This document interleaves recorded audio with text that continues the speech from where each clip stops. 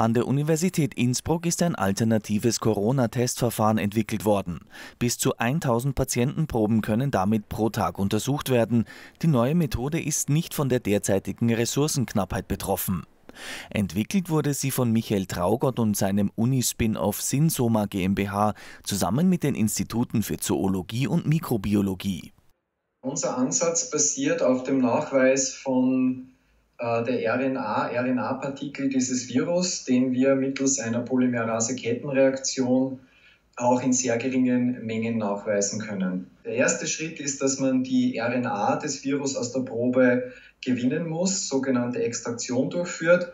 Und da setzen wir ähm, Verfahren ein, wo auch jetzt derzeit für die Extraktionschemie keine äh, Engpässe bestehen. Das ist einmal ein Vorteil und wir können diese Extraktion auch im Hochdurchsatz durchführen mit der Hilfe von äh, Extraktionsrobotern.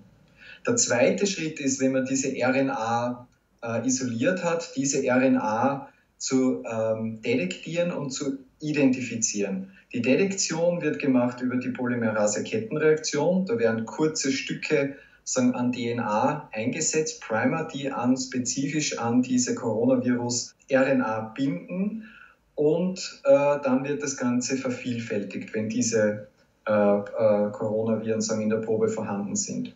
In einem dritten Schritt wird die vervielfältigte DNA dann mit Hilfe von Kapillarelektrophorese nachgewiesen. In Bezug auf Ressourcen ist es so, dass wir äh, bei diesem Kapillarelektrophorese PCR-System jetzt bei den Reagenzien großteils unabhängig sind von Lieferengpässen, die bei der klassischen Abtestung entstehen, weil es einfach wenige ähm, Gruppen gibt bzw. Labors, die dieses Verfahren einsetzen. Machbarkeitsstudien, die Methode als Testverfahren für SARS-CoV-2-Viren einzusetzen, waren erfolgreich.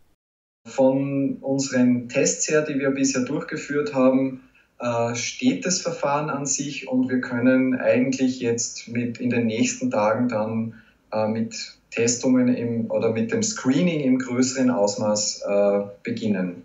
Wir sind dabei, uns bei den Behörden jetzt äh, zu melden. Die Validierung wird nochmal überprüft und dann hoffen wir natürlich, dass wir unsere Kapazitäten einfach voll ausspielen können, um diese mehrere hundert bis tausend Proben pro Tag äh, durchzutesten.